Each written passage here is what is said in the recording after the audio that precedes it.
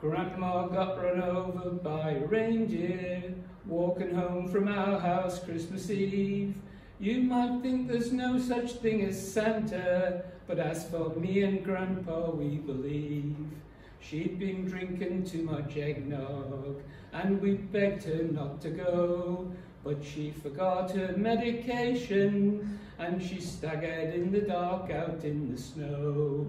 When we found her Christmas morning at the scene of the attack, she had footprints on her forehead and incriminating Claus marks on her back. Grandma got run over by a reindeer, walking home from our house Christmas Eve. You may think there's no such thing as Santa, but as for me and Grandpa, we believe. Now we're all so proud of Grandma, Grandpa. He's been taking it so well. See him in the watching football, drinking beer and playing cards with Cousin Nell. it's not Christmas without Grandma.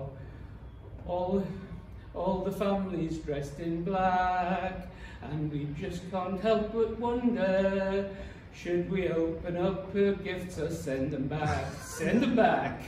Grandma got run over by a reindeer, walking home for our house Christmas Eve. You may say there's no such thing as Santa, but as for me and Grandpa, we believe.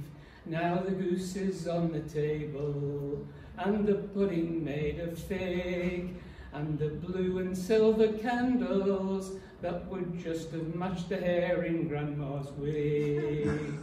I'll tell all my friends and neighbours, better watch out for yourselves. They should never give a license to a man who drives a sleigh and plays with elves. Grandma got run over by a reindeer, walking home from our house Christmas Eve. You may say there's no such thing as Santa, but as for me and Grandpa, we believe. Sing it for me, Grandpa. Grandma got run over by a reindeer, walking home from our house Christmas Eve. You may think there's no such thing as Santa, but as for me and Grandpa, we believe.